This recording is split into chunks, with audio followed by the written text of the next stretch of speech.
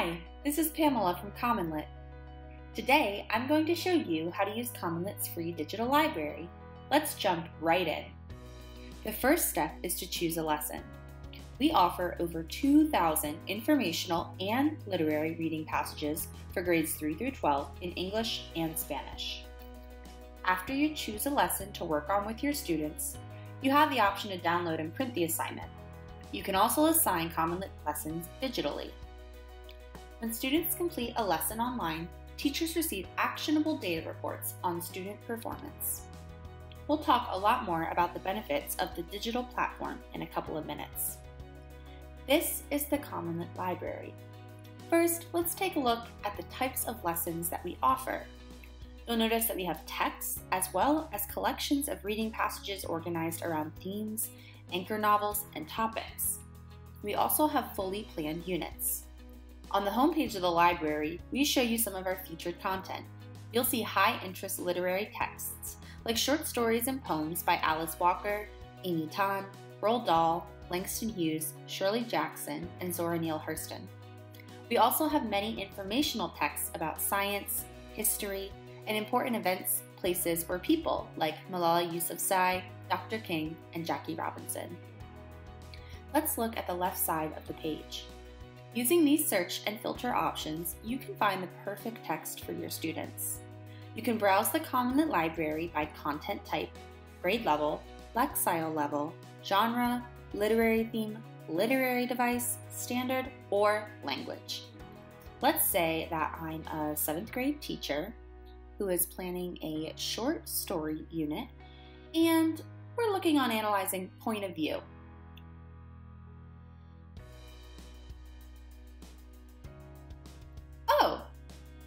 Choose the medicine bag. This is a great short story. Let's start by taking a look at the lesson planning tools for teachers. We can see these at the top of the page. First, we'll check out related media. Related media includes videos and other resources that can help teachers frame the lesson. These resources provide students with background knowledge or extra information to extend their learning. They can also be an engaging way to kick off a lesson.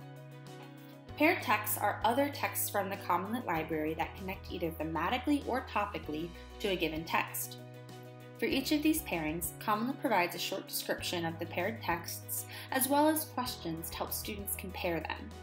You can use these to create thematically linked units, expose students to different perspectives on a topic, or expand their background knowledge. We also provide an answer key and a parent guide for all of your lessons. Let's go back to the text now. Teachers have the option to download this lesson. The vast majority of lessons on CommonLit can be downloaded and printed. Our downloaded questions include the reading passage, standards aligned multiple choice and writing questions, and discussion questions. All of CommonLit's lessons can be assigned digitally. You can assign a lesson to all of your classes, just one class, a group of students, or just one student. I'll assign this particular lesson to my first period class, and I'll enable guided reading mode for my students in my class who are approaching reading on grade level.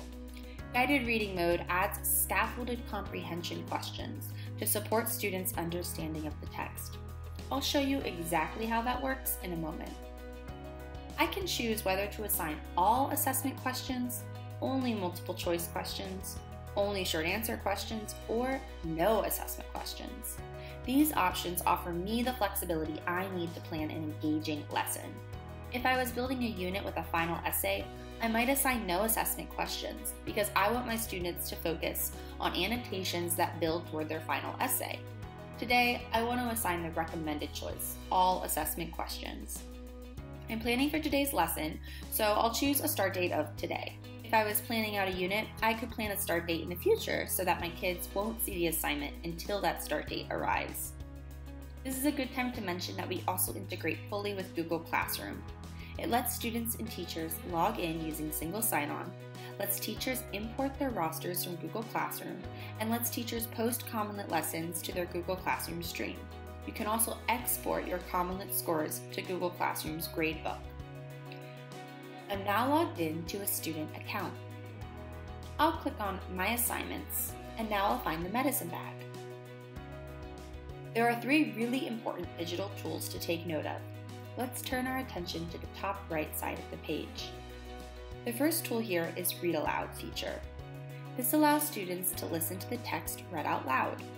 This is a great feature for struggling readers or students with disabilities or IEPs. The second tool is our Translate feature. We offer 27 translation languages and we'll keep adding more. Just click on the globe next to the text to translate the text into your language of choice. Last but not least, students now have the ability to highlight and annotate on texts. These will automatically save and teachers can view and respond to them in real time. Now let's look at the text. If we scroll down the page a little bit, we'll see that the text is partially blurred out. This is our guided reading mode feature, which we enabled previously for this student's assignment. To advance through the text, students need to get these scaffolding questions correct. If a student gets the question wrong, it records their wrong answer and gives them a chance to reread the text and try again. On the teacher dashboard, you can track student performance on these questions.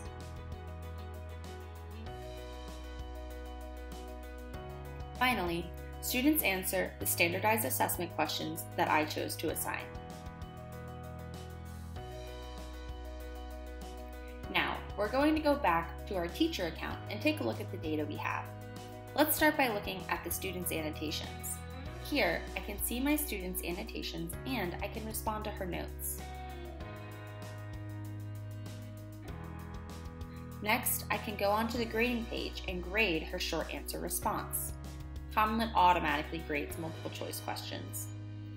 Now, let's take a look at an assignment report for a lesson that many of my students have completed. The assignment report tells you exactly how students performed on a particular assignment. At the top of the page, we receive a short summary. We can see our highest scores and the students who struggled. We can also see how students did on multiple choice questions compared to the writing questions. If we scroll down a bit further, we can see how students performed on guided reading mode questions.